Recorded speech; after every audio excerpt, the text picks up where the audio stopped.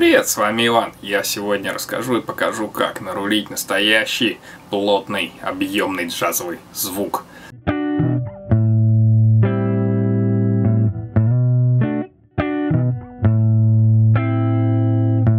На Line 6 под HD Pro или HD 500. Они в этом плане одинаковые.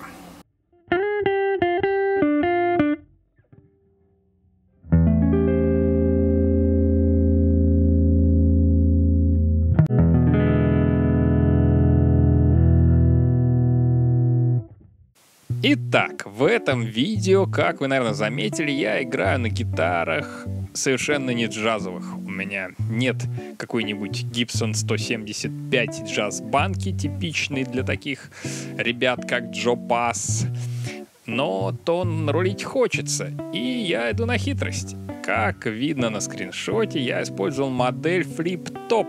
Это не гитарный усилитель, это басовый усилитель, сделанный по мотивам знаменитого студийного аппарата MPEG Portaflex, по-моему, он называется. Параметры все, в принципе, видны. Единственное, что я хочу прокомментировать, это то, что каб параметры, которые здесь не видны, они, в общем-то, по умолчанию, за исключением разве что срез низа сделан 60 Гц.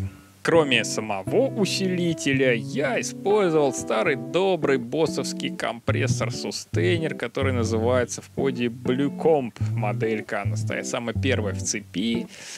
А, и довольно так нормально, в общем, по сустейну она нам дает. А после усилителя в цепи стоит Studio EQ, студийный эквалайзер, которым я всего лишь навсего отрезаю слегка частоты ниже 75 Гц. Вот, собственно, и все.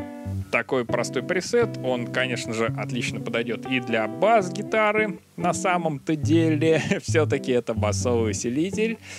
Но вот я нашел такую особенность, когда нужен плотный, насыщенный басами звук. Лучше всего для этого подходит басовый кабинет и басовая модель усилителя. Надеюсь, это видео вам понравилось. Подписывайтесь на мой канал. Пока!